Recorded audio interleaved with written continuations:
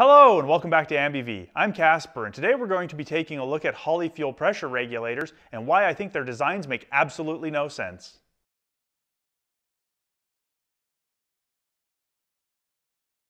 Today I just wanted to do a very brief video talking about issues I found with the Sniper EFI fuel pressure regulation systems. Now, the Sniper EFI comes with a built-in fuel pressure regulator where you send a line up to the engine bay and then a line back from the unit. And internally, it does fuel pressure regulation, supposedly keeping about 59.5 psi at the unit. I couldn't get it to reliably do this, so I decided to experiment with using one of their integrated fuel pressure regulator filter combos in the trunk and only sending one line to the engine bay, essentially creating a deadhead unit like you'd see in a Corvette. That means you just have really short return lines back to the fuel tank, saves you a lot of heat going up and down your exhaust track or anything like that, but also just saves you a lot of hose. Now, comparing the two side by side, it actually worked really well. I don't know why Holley doesn't offer this as a, just an option and save the money on putting the fuel pressure regulator in the Sniper EFI unit from the beginning. But what I found was both the unit in the engine bay, the actual Sniper EFI unit, as well as this filter combination system that is its own fuel pressure regulator that I put in the trunk, both use the same mechanism for filtration of the returned fuel. Now, I don't know why you would filter returned fuel, but this little filter cap, here's a picture of it on a clean one, this is what it looks like from the beginning. Here's what mine looked like after pulling it out.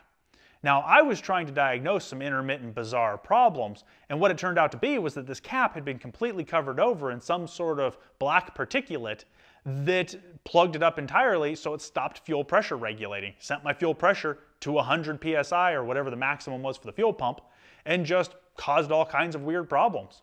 Now, I pulled this apart, cleaned it off, and it seemed to have fixed the problem. But I have two really big concerns here. One, why are we filtering the returning fuel to the fuel tank? And why is that stuff getting stuck there after passing through the Holley Hydramat at the bottom of my fuel tank and this integrated unit? It's not like there's a bunch of hose in here that could have had dirt in it. It's a enclosed unit they shipped to me that had caps on it that I popped off and assembled. So this was either so small it didn't get filtered, and they actually have a smaller outlet filter than they do main body filter in the combination unit, or it was already inside of the filter unit when they shipped it to me, which would be horrible because that means everybody installing these with this contamination would eventually run into this problem, and if they're not running fuel gauges of some kind to monitor pressures, they wouldn't know until they started having catastrophic problems, taking out injectors, blowing hose fittings, damaging their fuel pumps, something along those lines. Now, in taking this apart, I also went and found the parts, and that's why I have this nice clean one to show you.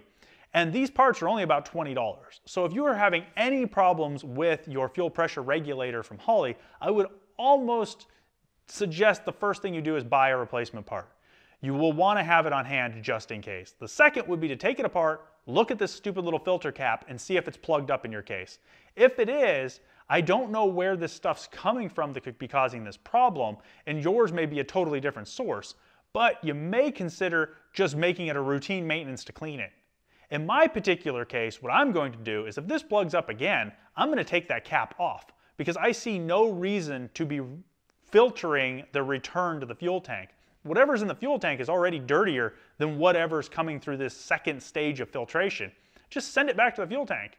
And if it plugs up the diaphragm from doing fuel pressure regulation, you're in the same position you were before, except for it'll take a lot longer to plug the large diaphragm than it will the little tiny filter cap. Now, the interesting part I found here was the components used in the integrated filter fuel pressure regulator unit in the trunk are the exact same part number as what was used on the Sniper EFI under the hood. So you will have the exact same problem at either end of the car, regardless of which one you use. I've never had this problem on another fuel pressure regulator, so I have no idea why this is an issue with Holley's design. Hopefully this information is helpful to somebody out there, and as always, if you have any questions, please leave them in the comments down below. I'll see you in the next video.